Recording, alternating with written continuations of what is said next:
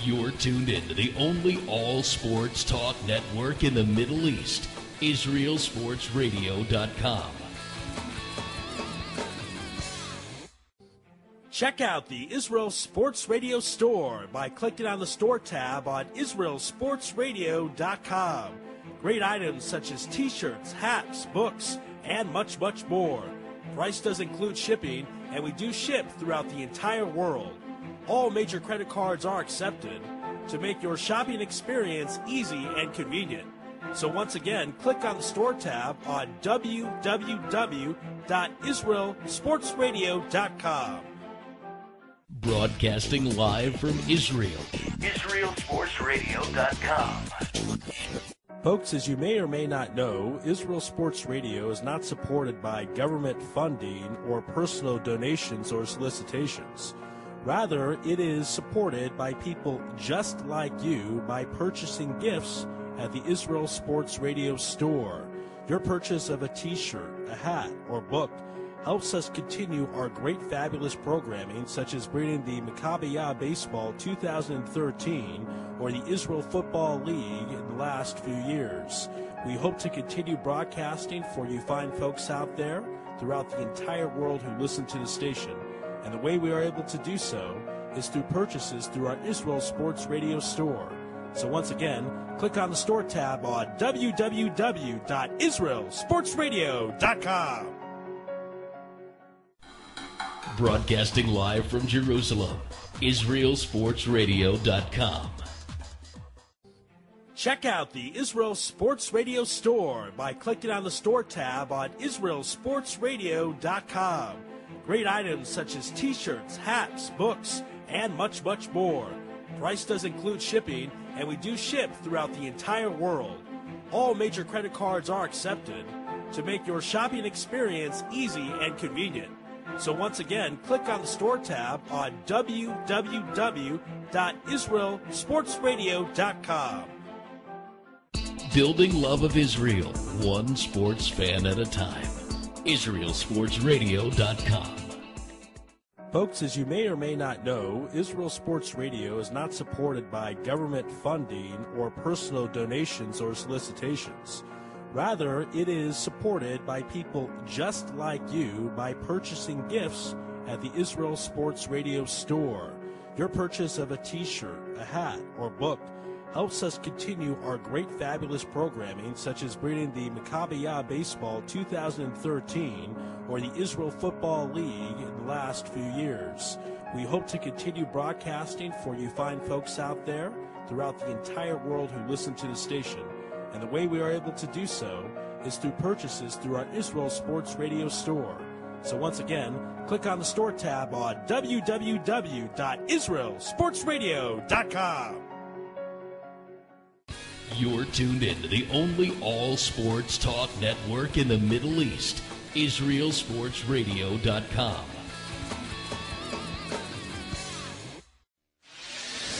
Connecticut School of Broadcasting founder Dick Robinson. You know, the media business has changed a lot since we opened our doors in 1964. Now media content is everywhere on air, online, on the go. More than ever, companies are looking for people to help drive this new media. At Connecticut School of Broadcasting, you'll get hands on training on the latest software and equipment in a matter of months, not years. Connecticut School of Broadcasting has placed thousands of grads in broadcast media careers. It's all about versatility. You see, at a radio station, if you also know how to shoot, edit, and post videos, you become a pretty hot commodity. That's the training you get at Connecticut School of Broadcasting. Connecticut School of Broadcasting with locations up and down the East Coast from Massachusetts to Miami. Call 1 800 TV Radio or log on to gocsb.com. Connecticut School of Broadcasting, the nation's oldest and largest group of broadcast media schools, redefining training in radio, TV, and new media. Get trained, get connected. 1 800 TV Radio.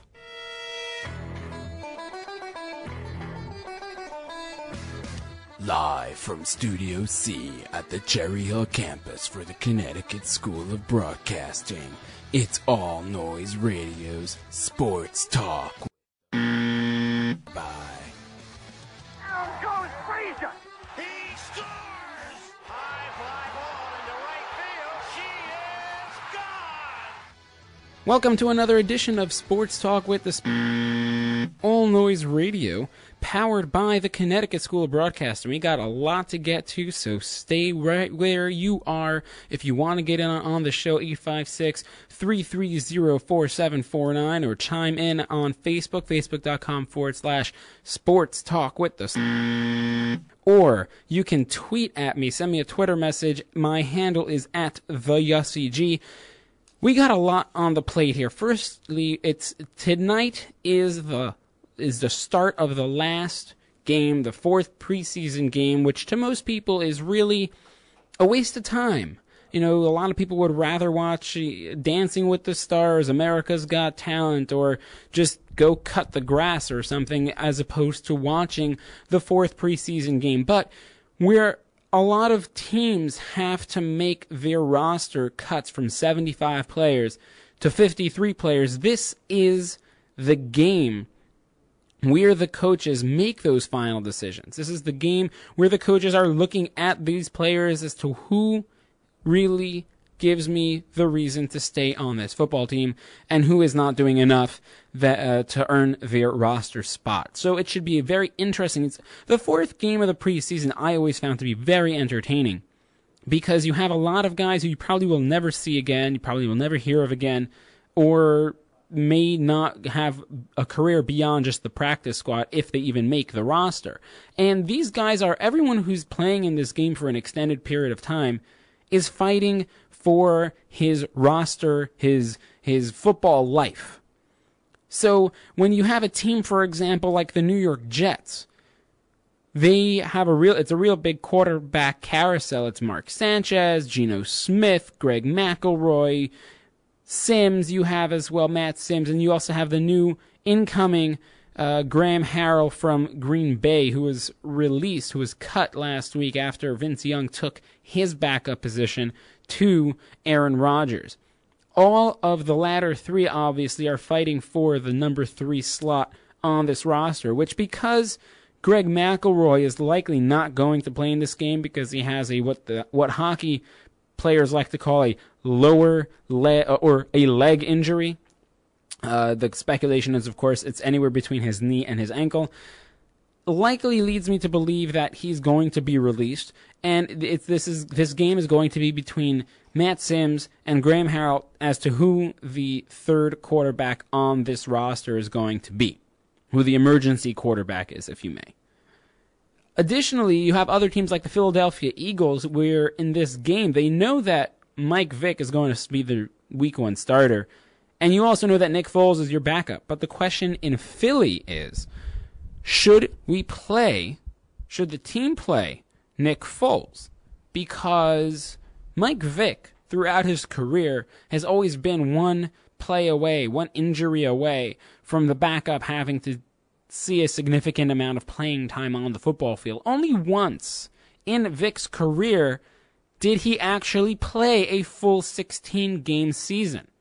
So the question everybody in Philly is asking today is should Nick Foles play in this fourth preseason game, in a meaningless preseason game, to get a few more reps in? Are those few more reps in real live game action really that worthwhile to potentially put him in hazard's way and harm's way and cause for him to injure himself? And now you're looking at Matt Barkley as the guy who's going to be backing up Mike Vick. Well, obviously, injuries are a part of the game, as you can see throughout all the teams in the league and throughout all sports.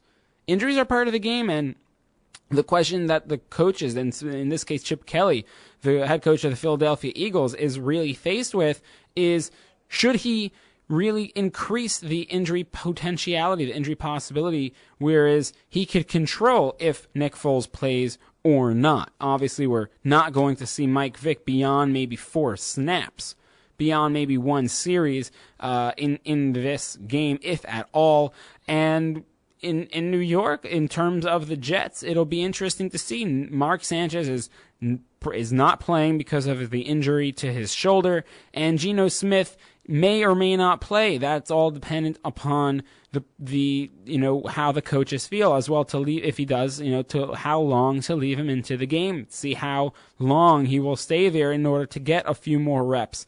Whereas Nick Foles in Philadelphia he already has played a couple games. He knows what the NFL speed is like. Does he really need those reps?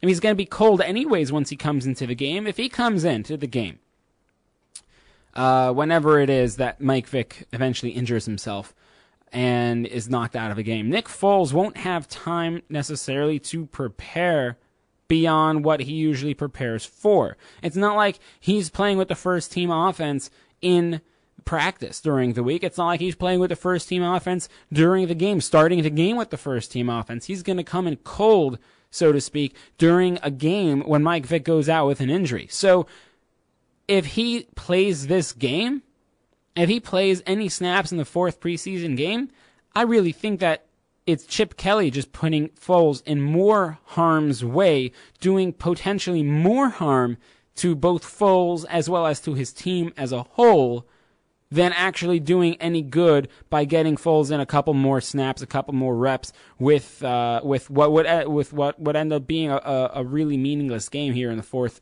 uh, preseason game uh, right before the season opens up for them Monday night against Washington against RG three. So really, the the questions all fall onto the coaching staff as to what they're going to do. But what would seem to be the best is to just leave things as is and let those who are fighting for roster spots, let those players really get the bulk, get the entire game. Heck, why not? It, for some of them, they may never play in another professional game in their life. So why not? Give it all to them. 856 330 4749. Chime me in on Twitter at the SCG or on Facebook, facebook.com forward slash sports talk with the sports rabbi.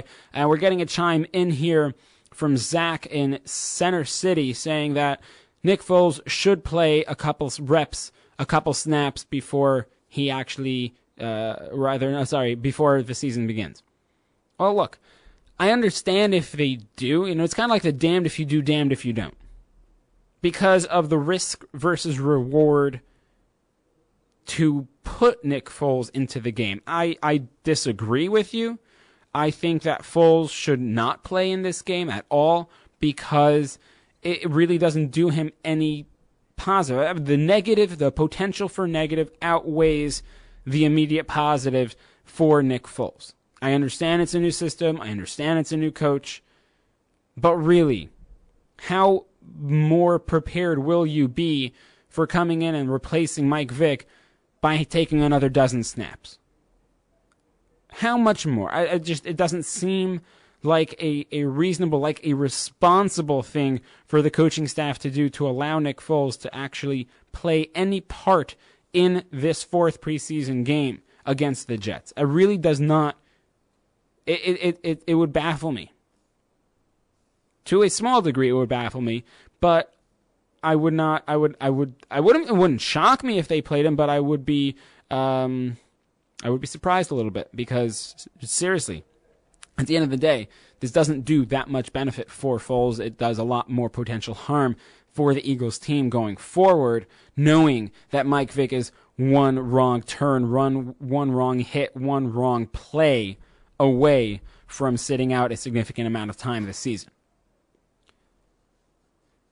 Now, for the Jets, we all know what happened last week with this uh, whole uh, quarterbacking conundrum against the Giants.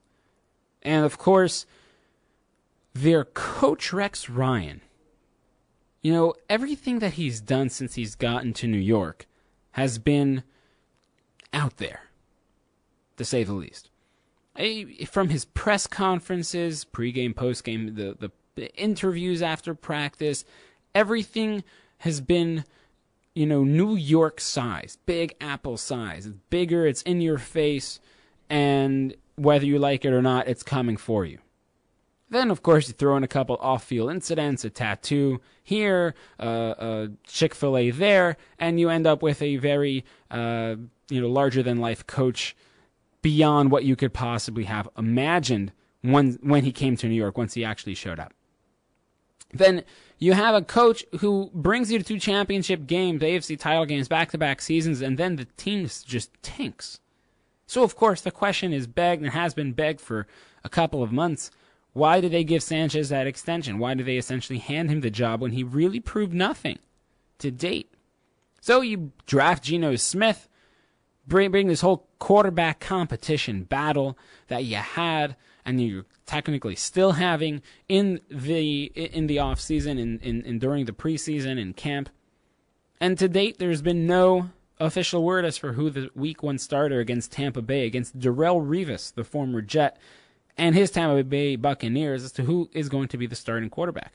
Sanchez, the incumbent quarterback who's injured with his shoulder injury, or the rookie Geno Smith, electrifying at times, dismal at others, brutal even from time to time as well.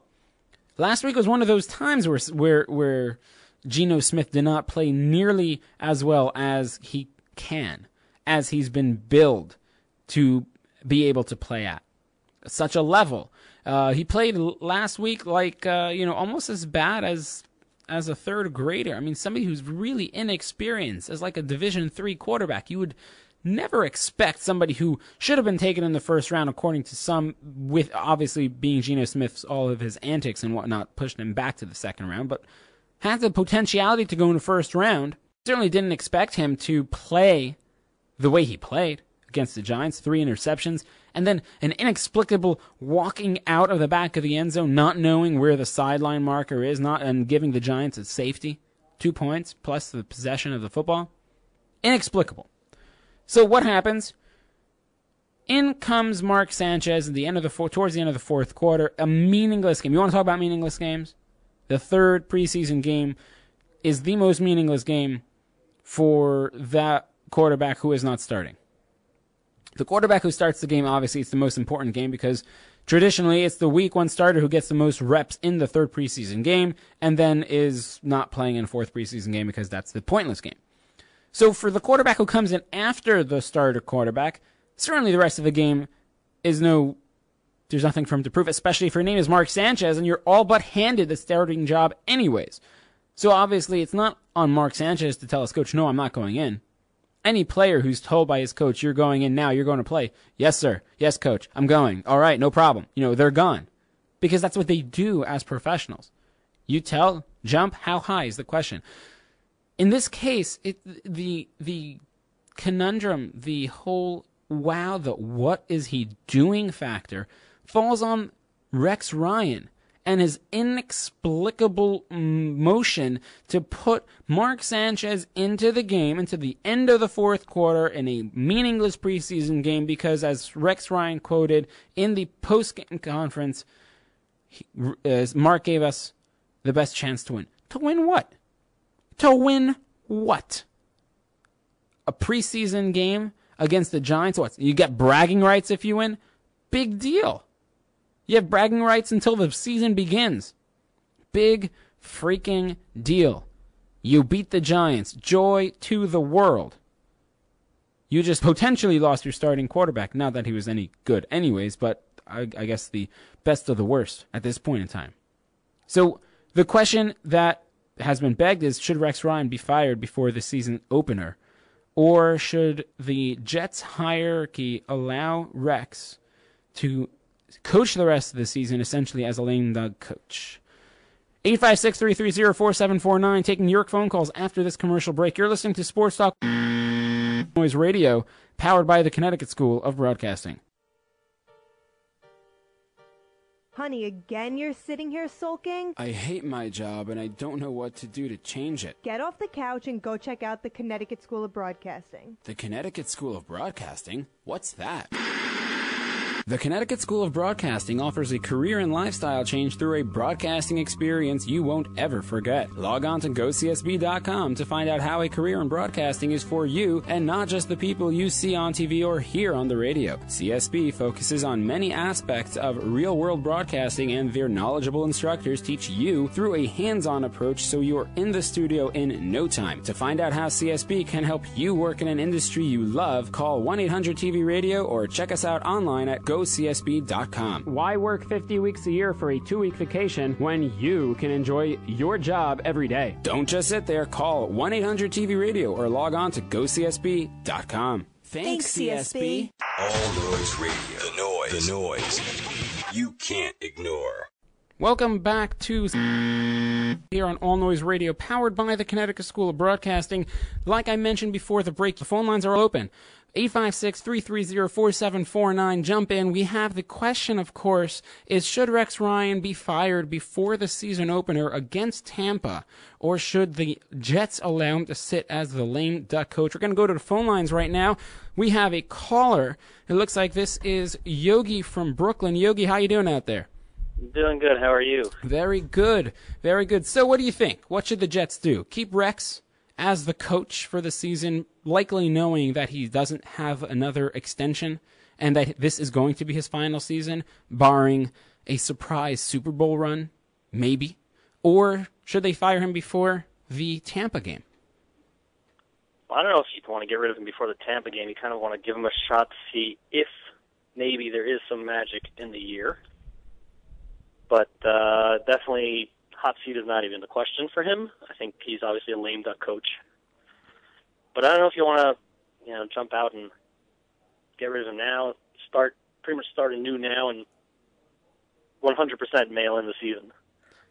Well, I don't know if you'd be mailing in the season with him or you'd be mailing in the season without him, but certainly if you had to judge from last week against the Giants, the way that he ran the football team, the way that he coached the football team, the decision making was very questionable at best. And you have to really wonder, you know, the Jets and Rex Ryan seem to be going, or seem to be entering rather, this season with two different mentalities. The Jets obviously going through a rebuilding process, and Rex Ryan really on a scorching hot seat in, in a win now situation. Yeah, for sure. I mean, but still, you look at, obviously, he's pretty much ruined any chance of his brother ever getting a head coaching gig with the way he's managed the team in the past couple of years. Um, he's obviously proven that great defensive coordinators don't necessarily make great head coaches. So totally agree with you there. He's, he's definitely not. Uh, I think this is going to be his last go around as a head coach for a while. Um, again, though, I don't, I don't know. I don't know. I, I think just with him, the team at least has a shot defensively. The question is if they can get some things put together on offense. Remember, they were a top 10 defense last year. They were just 28th in offense, and Sanchez with 26 turnovers himself. Well, that that of course then goes on on team management to try to get somebody who you're not going to give that huge extension to for no apparent reason other than being able to not turn the ball over during those back-to-back AFC title runs. Now, I, uh, that all aside in terms of Sanchez, but I know you're big on the backup quarterbacks with the New York Jets. I know we've we've spoken online. You know, you we've we've uh, traded some messages here and there. But what what's up with that? What what what we talked? Why? Well, who cares about the backups think, on the Jets? Well, here's the thing. You look at a guy like Sanchez. Ever since he's come into the league, he's been a prima donna. No leadership showing. He does. He's never vocal about anything. And again, that can work sometimes if you can back it up, like Eli Manning, who backed it up. Mark Eli Sanchez Manning didn't back up anything for a couple years. Teams with great defense, and he showed not much offensively. So that's that's the first thing. A guy like Greg McElroy, as the backup, was very vocal when he saw things were wrong. When he saw the Santonio Holmes Mark Sanchez fight, he was vocal about it. He showed some leadership. He showed some some things that you want to see in a possible franchise quarterback. And then when he has seen the field, he's done pretty well. So it just it's so silly how they're wasting draft picks in my mind on potential when they potentially have somebody on their roster already. Well, you you bring up McElroy, but the issue with McElroy is the guy can't play right now, anyways.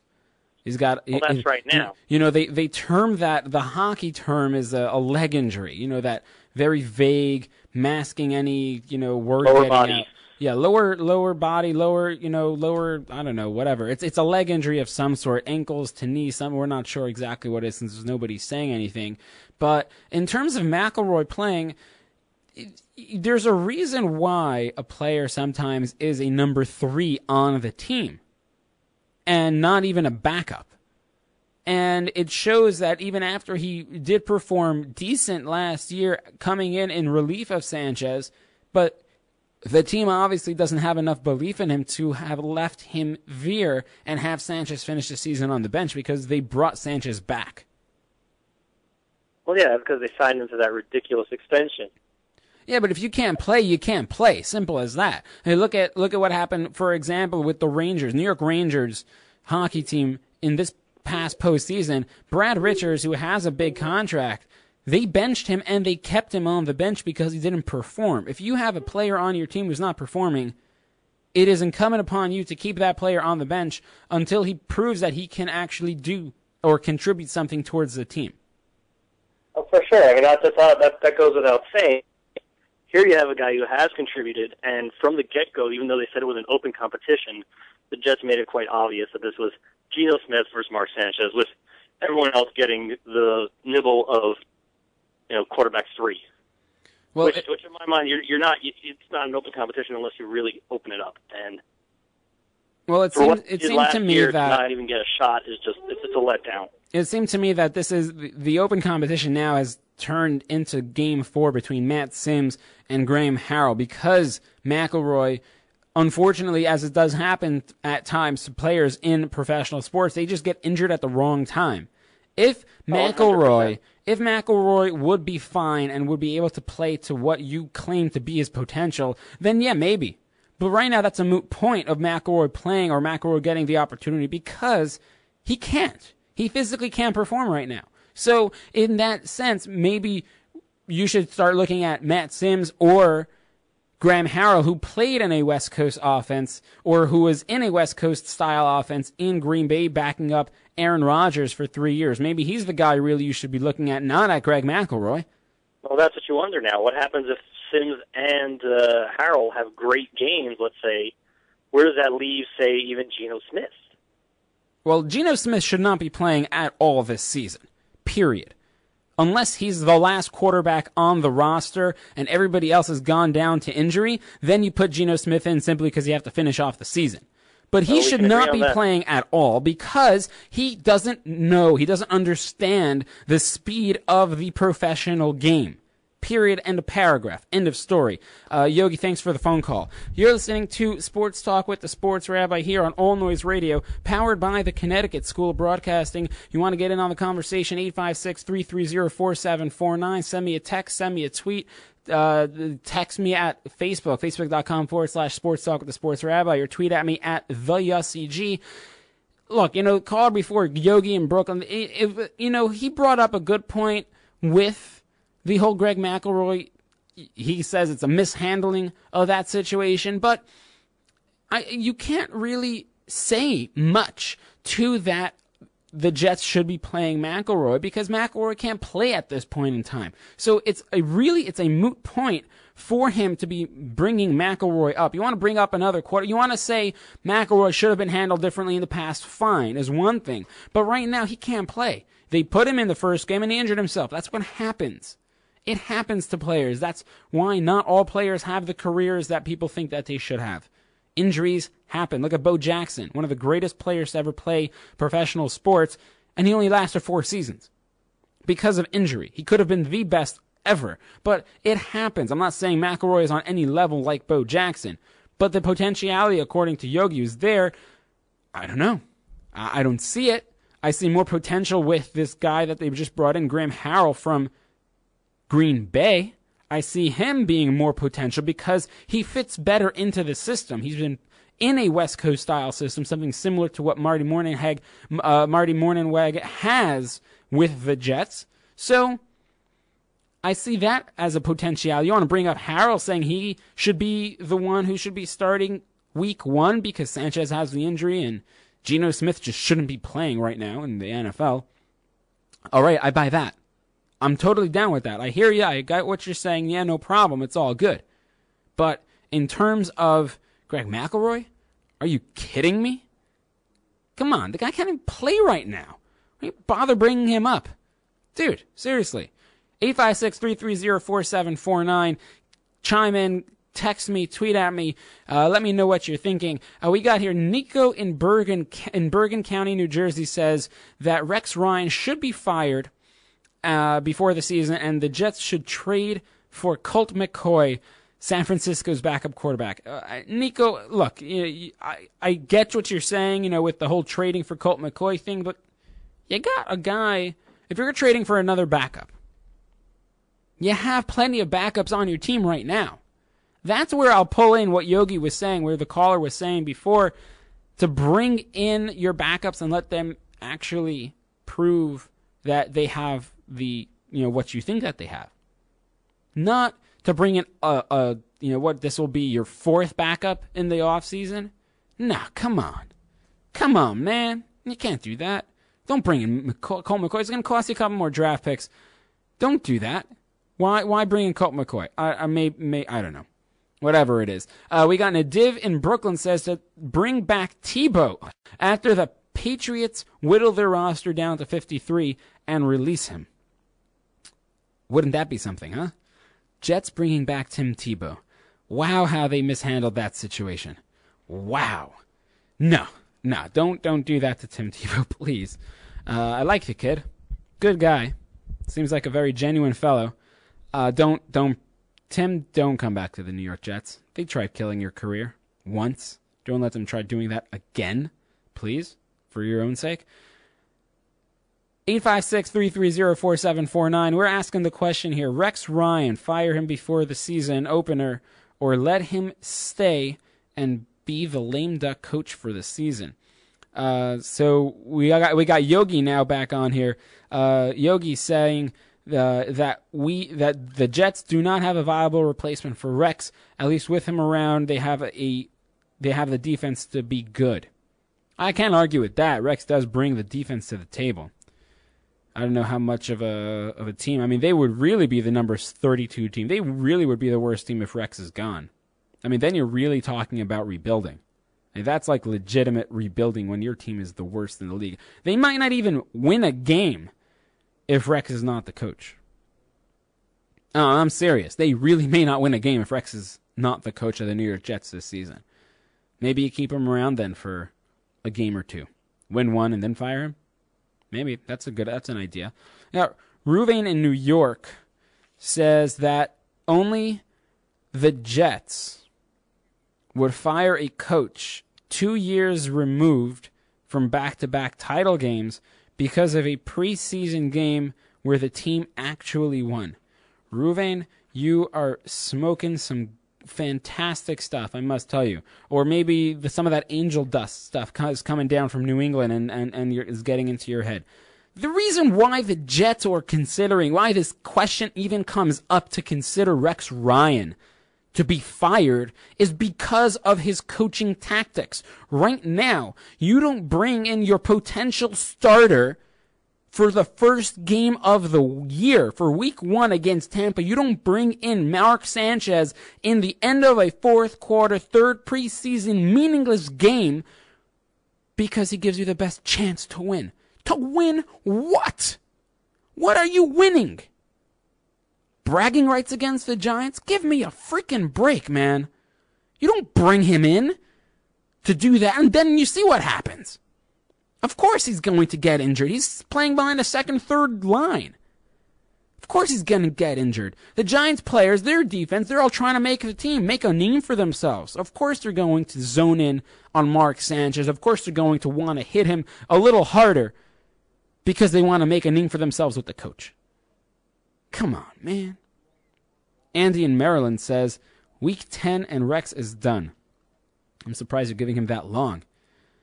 I'm surprised you're giving him that long. 856 330 4749. More of your phone calls when we come back. You're listening to Sports Talk with the Sport. Radio, powered by the Connecticut School of Broadcasting. It's been 48 years Connecticut School of Broadcasting has helped place thousands of people, just like you, in exciting careers in radio, television, and the new media. At Connecticut School of Broadcasting, our hands on approach is different. It's designed to have you spend less time in the classroom and more time in the studios. From the first day, you'll work with state of the art equipment. Learn by doing from our team of industry professionals who come from their studios to ours. The best part about it, you'll learn it all in a matter of months, not years. Connecticut School of Broadcasting has a network of 12 campuses from Massachusetts to Miami. Remember, it's never too late to love what you do. So do what I did. Call 1 800 TV Radio. Step into the fast paced world of the broadcast media. Day and evening classes begin soon. Connecticut School of Broadcasting. Get trained and get connected now. Call 1 800 TV Radio or log on to gocsb.com. Your computer is blowing up, blowing up to the sounds of All Noise Radio, powered by the Connecticut School of Broadcasting. Welcome back to Sports Talk, All Noise Radio, powered by the Connecticut School Broadcasting. Like I mentioned before the break, you can chime in 856 330 4749 or send me a text, facebook.com forward slash Sports Talk with the Sports Rabbi, or send me a tweet. Hit me up on Twitter. My handle is at the Yossi G. And of course, the question is should Rex Ryan be fired before the season opener, or should the Jets allow him to be the lame duck coach? I mean, you you've heard what everybody has to say. It's time for you to weigh in on what your feelings are on this matter with the New York Jets. And also, should the Philadelphia Eagles, should the Eagles play Nick Foles at all in tonight's game? I don't believe they should, but of course, weigh in 856 330 4749 with your opinions, or you can send me a text at facebook.com forward slash sports talk with the sports rabbi or tweet at me. My handle is at the Yossi G. And in other, you know, news around the league, really, it's been uh, the questions this week has been all around the New England Patriots. Tim Tebow, of course, will he make the final roster? And of course, Aaron Hernandez. I'm trying to see who I can't stand anymore in terms of news media. A Rod or Aaron Hernandez. But I think right now it's still A Rod who I'd rather hear less of.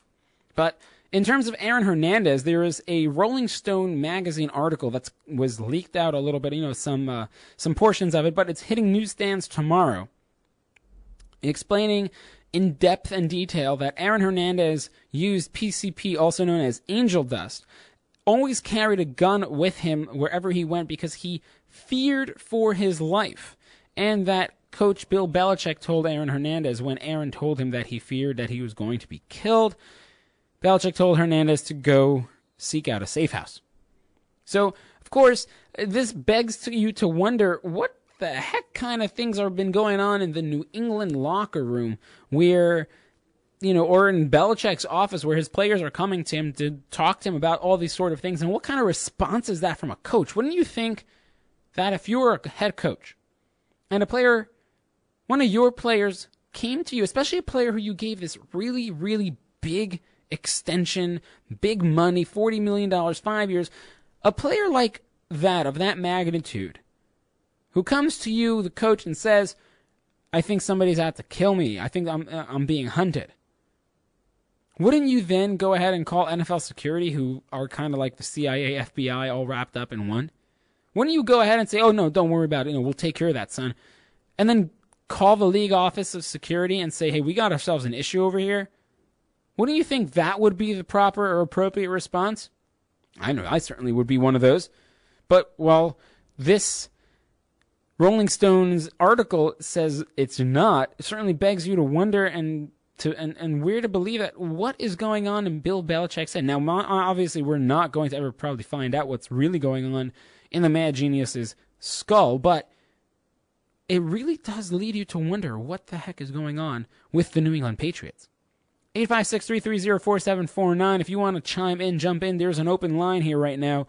Or if you want to send me a text because you're too scared to call, by all means, facebook.com forward slash sports talk with a sports rabbi, or send me a tweet at the Yossi G. We have a, a chat in here from Brian in New York City saying that This whole Rolling Stone magazine article is a farce. It's bogus from start to finish because who are they?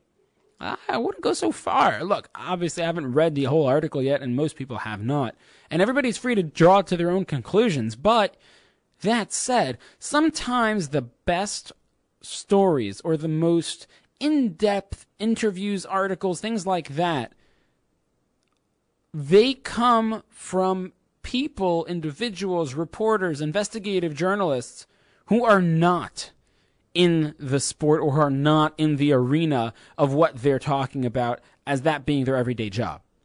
Sometimes a, a, a, reporter from outside of the football circles is the one who brings that information to light about somebody within the football circles that nobody no reporter in the football world would be able to ever do because the player simply just doesn't trust, or the folks who that person is interviewing simply just doesn't trust a member of the football media for a football story.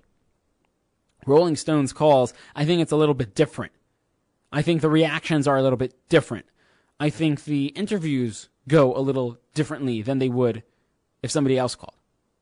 So I to, to say that it's a whole farce because who is this guy who he's not in the football world? I I, I wouldn't uh, I would hold up there for a moment. Not necessarily. 856-330-4749. Chime in at the Yossi G or send me a message facebook.com forward slash sports talk with the sports rabbi. Uh, in terms of this whole thing and what Aaron Hernandez has been going through, uh, you know, obviously the family of Odin Lloyd, who Aaron Hernandez is accused of murdering uh, in the first degree. He'll be arraigned in a, in a couple days, and uh, I believe it's September 6th. He's going to be arraigned for first degree murder charges, that being Aaron Hernandez. Just everything that's been surrounding this situation. It's it's really you know it's tough for anybody. It's tough for the, the individuals involved. It's tough for the fans to listen to this constantly. And really, you just have to let it develop and allow for it to answer itself. Kind of like a, you know, sometimes wars kind of end themselves, they figure themselves out. So here also, it's a battle. The battle is for the truth of what went on, the truth of what happened, who pulled the trigger, that sort of thing. And the other news for the New England Patriots, though, is Tim Tebow. Tim Tebow never ceased to go away never ceases to amaze. He's always around, hovering. Broncos, New York Jets, possibly not having a career in the NFL, New England Patriots, and still possibly not having a career in the NFL. Well, Tebow survived the cuts to 75, and, you know, whenever you have an owner of a franchise in your corner, you know that you're in a pretty good situation. Except if your owner is Robert Kraft and your coach's name is Bill Belichick, and maybe there's some leeway there to think otherwise. Robert Kraft has gone on the record to say that he hopes Tim Tebow makes the final 53, makes the final roster cuts because he likes the kid, because he likes what he brings to the table. He likes his attitude. He likes his approach to every single day, every single play. He likes his approach to how he practices. Plain and simple, Robert Kraft, Mr. Kraft, likes Tim Tebow and hopes that he sticks around. Well, certainly for Tim Tebow fans, they all hope that he sticks around because they know that New England is a good place for him to learn how to be a true and proper quarterback. And one of the greatest football, one of the greatest college football quarterbacks of all time cannot really make the cut in the NFL. Makes you wonder what type of a system. Obviously, you, the New England system right now is like your classic quarterback uh, pocket passer.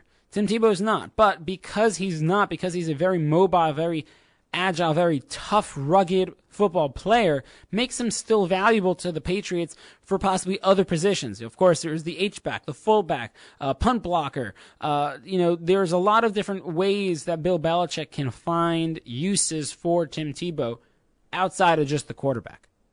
Obviously, that's what he wants to be. He wants to be an NFL quarterback. And I really hope that it works out for him, although I have my predisposition towards that, that if you're not a quarterback walking in to the NFL, you're not going to be a quarterback when you leave the NFL. But that's just me. That's just my personal opinion on the matter. But I really hope that for Tim Tebow, it works out there in New England because he really was hamstrung. He was screwed by the Jets when they brought him in. Just, I mean, really, it was just to sell PSLs, personal seat licenses, and tickets.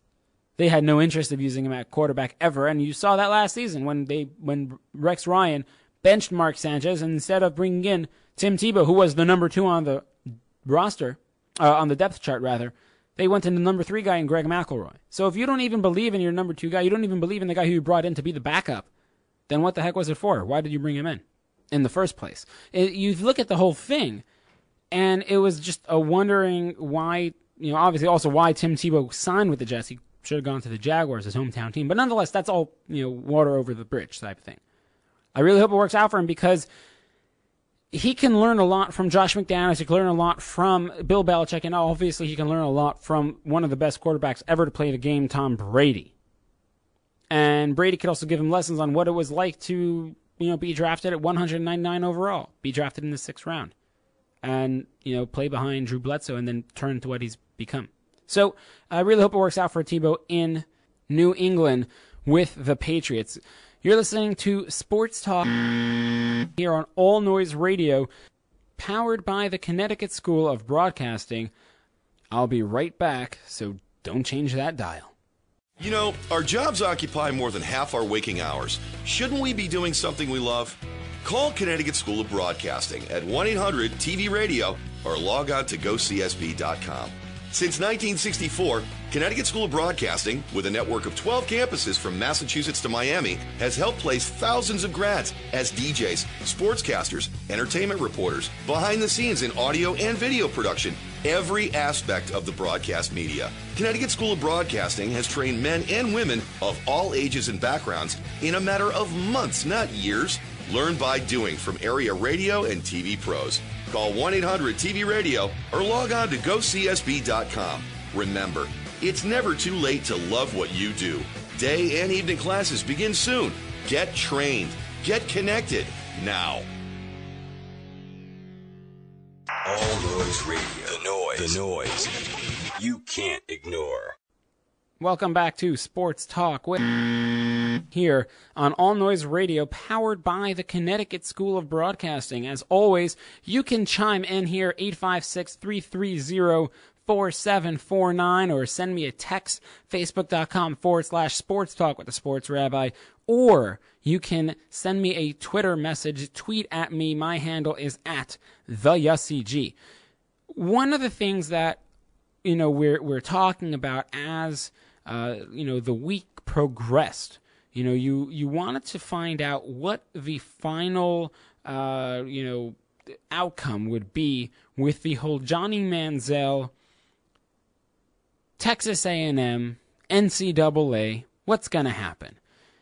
You know, uh, for for all those who were living under a rock the last couple of months, Johnny Manziel is you know is being looked into by the NCAA for apparently violating uh, Rule 15-2-2, uh, which basically says a player cannot do any you know cannot sign autographs or anything as such, and be given cash or any sort of payments uh, for his John or her John Hancock.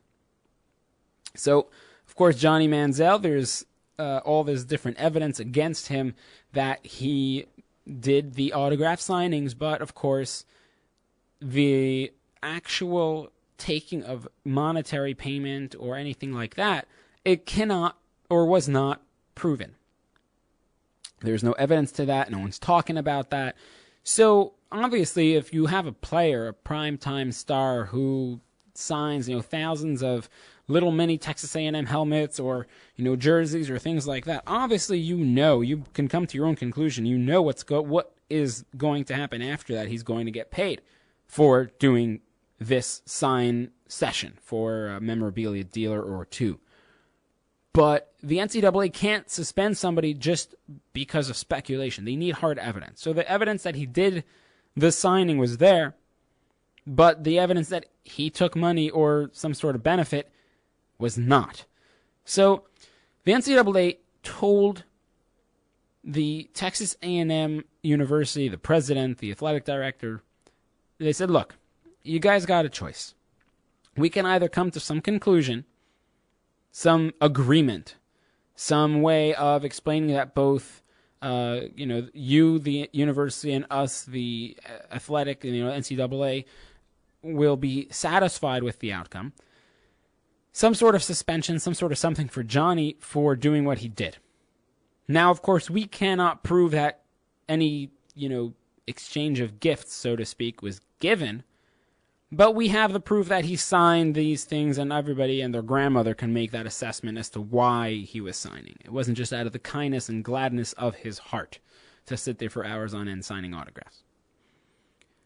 Uh, or you can do that, or we, the NCAA, will stay here, will stay on your backs, will uh, keep digging, keep prying, and you, the university, will have this cloud of suspicion, this cloud just hanging over your head because we, the NCAA, will still be here throughout the season, possibly even into next year or the year after. And if we find something down the road, everything that happens from this point till whatever it is that we find is all forfeited. Kind of like what happened with uh, University of Southern Carolina, you know, uh, Southern California, USC, with Reggie Bush where all that stuff was vacated, their championship and other awards and trophies. So they finally came to a conclusion, that being Texas A&M and the NCAA, that Johnny Manziel will not be suspended for six games, as a lot of people thought. He won't even be suspended for the first two games against Rice and Sam Houston State, that a lot of people thought as well, because the third game really against Alabama is the game that everybody's going to tune into. No. Johnny Manziel is going to be suspended for a half a game for the first half of the first game against Rice this Saturday. The reason being for, quote, inadvertent violations of the rule 15 2 2. Really? This is what, okay, I, I know the NCAA has, has made a lot of enemies and has done a lot of odd things over the years and given interesting rulings and really things that kind of make you scratch your head and wonder what the heck is going on there. But this has certainly got to top the list. Take the cake as to what the heck? Are you kidding me? I mean, what's a half a game? At least, at least, at least it wasn't the second half of the Rice game because he wouldn't be playing that anyways. After Texas A&M is going to go up on Rice by like 25 points in the first half. Because that really would be just like, that's just pointless. I mean, he's sitting anyways the second half. Uh, suspending him, suspending Johnny Manziel for the first half of the game against Rice is literally the lightest possible slap of a wrist that anybody can possibly give anyone. I mean, you're talking Johnny Football went to went from Johnny Football to Johnny Signatures, and he's getting a half game suspension. I mean, this is it, it's look. If you don't want to suspend the kid because you have no proof, and also everybody in the world believes that this rule is the one of the most outrageous rules, bogus, silly, stupid edicts that you have in your handbook, rule book that is larger than God's Bible itself. If that is the reason why you're you're only giving him a half a game suspension, shame on you. Just just just cut the rule out. Just forget the rule.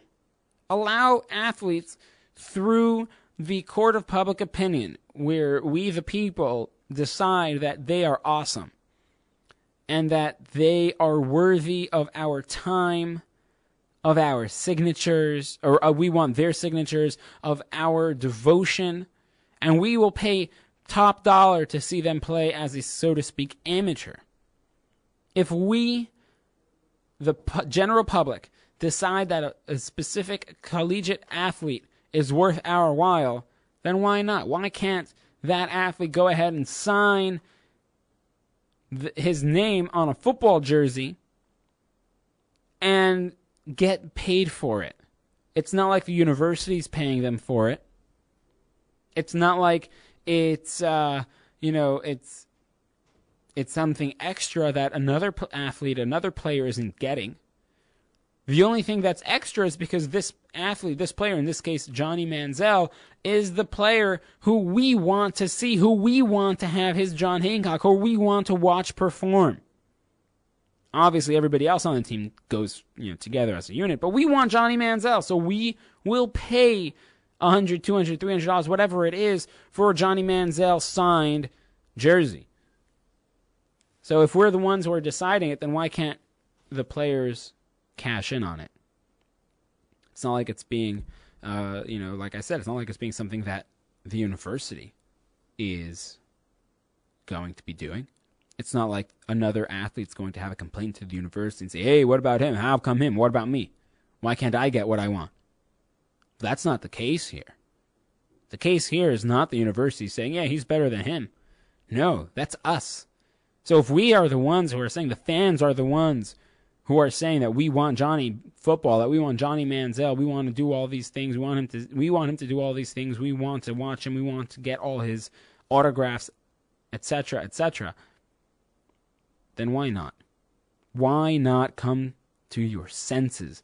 The NCAA, I mean, even the International Olympic Committee, the IOC, even they came to their senses and decided that their athletes are no longer called amateurs. Why don't you do the same? 856 330 4749. Chime in, tune in, uh, chime in, send me a text at facebook.com forward slash sports talk with the sports rabbi or tweet at me. My handle is at the Yossi G. Allen Iverson is, uh, you know, is, is a really good player for most of his years in the NBA, playing about a decade with the Philadelphia 76ers. But the question that has risen up this week is Hall of Fame. The Hall of Fame, the Basketball Hall of Fame, located in Springfield, Massachusetts, is Allen Iverson Hall of Fame worthy. You look at the guy's numbers, it certainly seems it. Yeah, he may not have won a championship, he led. You look at what he did in that season where the 76ers played the Los Angeles Lakers for the title. Allen Iverson led a team single handedly, put that team on his shoulders, and rode them to the finals. This is a Lakers team that had not lost in the postseason, was in middle of a three-peat, and comes game one of the finals. I'm watching this. I see everybody in LA has got those brooms out, saying sweep, sweep, sweep. And the 76ers beat the Lakers on their home court in that first game. I thought that was fantastic. Absolutely marvelous. But Allen Iverson as a player, I mean, he took guys who on most other teams would be the numbers 8, 9, 10, and 11 players and those were his other starting four. Okay, maybe Dikembe Mutombo might have made the starting five because he's just a really tall guy. And as a center, fine. All right. So besides for Mutombo, you're talking about a team that large, large and, you know, by and large was a team, you know, guys who would never make the starting lineup on any other squad that season in the NBA. Because they were not that good. They could play defense, so you bring them in for defensive situations if you were if they were on other teams, but they couldn't play offense. Are you kidding me? People complain about Iverson that he, you know, chucked the ball a lot. He was a ball hog. He he he took the ball and put up 30 shots a game. Obviously, who is the guy supposed to pass to? Nobody else could score on the team. Come on, all all Mutombo does is block shots. He can't score. Know, other guys on team couldn't score either. So, so of course, it's going to be Allen Iverson always taking the shot, or seemingly always taking the shots. Because who is the guy supposed to pass to who can be relied upon to score besides for him? Who else? There's a reason why he took 30 shots a game. There's nobody else on that team was in sniffing distance of 40% shooting, uh, field goal shooting that season. Iverson for his career was a 42% shooter, and he was the best by far on that team. So you can just imagine what the numbers were in terms of field goal percentages for those players' careers were. 25 to 35% at best. So if you're going to tell me that, oh, Iverson shouldn't make it in because his field goal percentage isn't high enough because he took all those shots and missed so many, well, look at the tale of the tape. Are you going to tell me Kobe Bryant is not a Hall of Famer? Of course not. Kobe Bryant is a surefire first ballot Hall of Famer. His field goal percentage is 45% field goals made. Allen Iverson's field goal percentage is 42% field goals made. Are You're going to tell me that Allen Iverson won't make the Hall of Fame because he never won an NBA title? Well, uh, let's see. Karl Malone never won an NBA title. John Stockton never won an NBA title. Heck, Charles Barkley never won an NBA title. And all three of them are in the Hall of Fame. So you're going to tell me that's going to keep Allen Iverson out of the Hall of Fame? No. Allen Iverson's numbers 26 points, 6 and 6. Come on. Come on. That's that's Hall of Fame numbers. I mean, there are guys in the Hall of Fame who've had worse numbers than that. So, that I rest my case. Allen Iverson, first ballot Hall of Famer. Yeah, you may not have liked him. You may not have liked that afro or the cornrows, but think about this. This is a guy who challenged Shaquille O'Neal, the immovable object of the NBA. Challenged him in the paint. Allen Iverson is graciously listed at six foot, a buck sixty-five. I would put my bet that he's 5'10, 5'10 and a half, maybe a buck 50, a buck 55. Going up against 7 foot, 7 foot 1, 300 and change? Who are you kidding? I mean, this guy had a, a, an injury report list longer than most 70 year olds who go to the doctor. Everything from, from his nose to his elbows and wrist and broken fingers and knees, and everything hurt him. But yet he still went and challenged the guy of the NBA, the supreme center of his time in Shaquille O'Neal.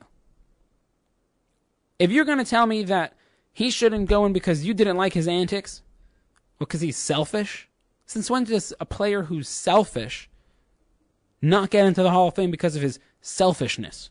Kobe Bryant's pretty selfish. Michael Jordan is a real selfish guy. So if you're going to tell me it's because of selfishness, then you're just a hater. Look, I'm not professing I, I you know I'm a I'm a I, I'm all for Iverson love and whatnot, but it, this is the facts, Jack.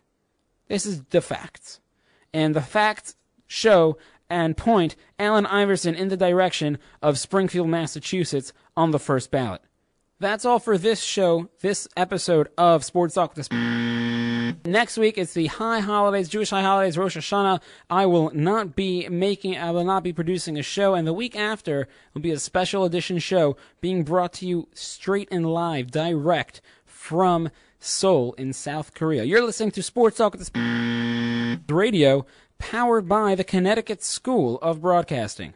All Noise Radio powered by the Connecticut School of Broadcasting. All Noise Radio is an internet radio station that's fully produced by graduates of the Connecticut School of Broadcasting. From modern rock to old school hip hop, country to classical, news, talk, sports, and more. It's the noise you can't ignore. Log on to allnoiseradio.com. Fire up the station. Find out more about your favorite jocks. Get the latest CSB news and more. Plus, you can take All Noise Radio with you on the go for free. Just download the Live 365 app to your iPhone, iPod Touch, or Blackberry and search All Noise Radio.